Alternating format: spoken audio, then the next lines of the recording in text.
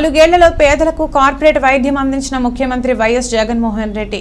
YSRCP Rajahmundry MP అభ్యర్థి గూడూరు శ్రీనివాసరావు.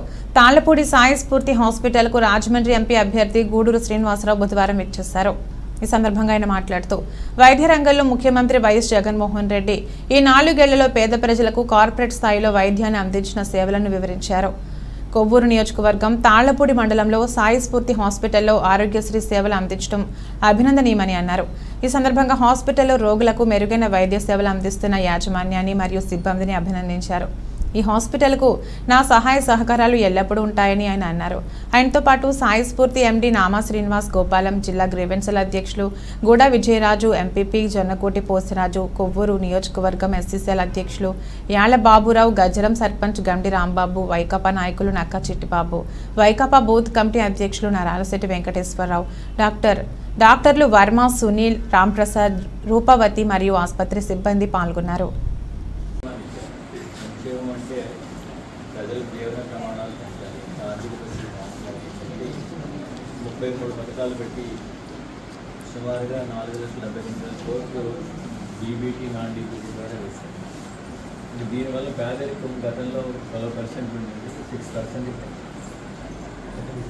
అంటే చదువు ఎక్కడ కూడా ఆగకూడదు అని అదేవిధంగా గవర్నమెంట్ స్కూల్స్ ఇంగ్లీష్ మీడియం పెట్టాలి అంటే మన పిల్లలు ప్రపంచంలో ఎక్కడికి వెళ్ళినా కూడా రాణించాలి అనే ఉద్దేశంతో గవర్నమెంట్ స్కూల్లో ఇంగ్లీష్ మీడియం పెట్టారు గత ప్రభుత్వంలో అయితే ఎప్పుడు కూడా గవర్నమెంట్ స్కూల్ని పట్టించుకోవాలి ఎప్పుడు కూడా మాతృభాషను చంపేస్తున్నారు ఇలా మనం బయటికి వెళ్ళాలంటే ఇంగ్లీష్ రావాలి సో జగన్మోహన్ రెడ్డి గారు మన పిల్లలు బాగుండాలి అదేవిధంగా ఆరోగ్యశ్రీ ఇదివరకు రెండున్నర లక్షలు ఉండేది పది రెట్లు కనుక ఇరవై ఐదు లక్షలు చేశారు.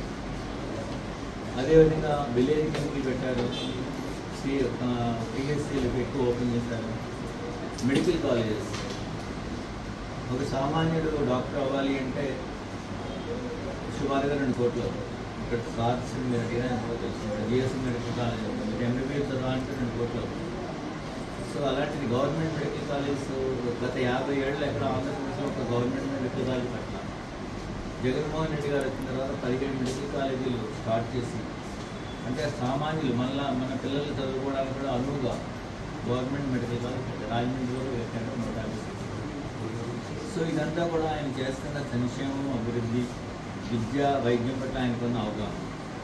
సో నేను రాజకీయాల్లోకి ఎందుకు వచ్చానంటే ఇంత మంచి చేస్తున్న వ్యక్తికి మనం సపోర్ట్ ఇవ్వాలి మనం నాకు అవసరం లేదు. నాకు అన్ని విధాలుగా సౌఖ్యంగా ఉన్నా నాకు హాస్పిటల్స్ ఉన్నాయి నాకు పేరు ఉంది అన్నీ ఉన్నాయి. కానీ మనం ఒక సమాజానికి మంచి చేస్తున్న సపోర్ట్ చేయాలి అని చెప్పి అనే ఆ భావంతో నేను రాజకీయాలకు వచ్చాను. మీరందరూ కూడా నా అభిప్రాయంతో మీరు ఏకీభవిస్తే తప్పనిసరిగా నాకు ఓటేస్తే మీ అందరికీ అండగా ఉంటాను. మెడికల్ సంబంధించి వాటన్నిటికీ కూడా. నిన్న మన ప్రాబ్లమ్స్ పార్లమెంట్లో ఓకే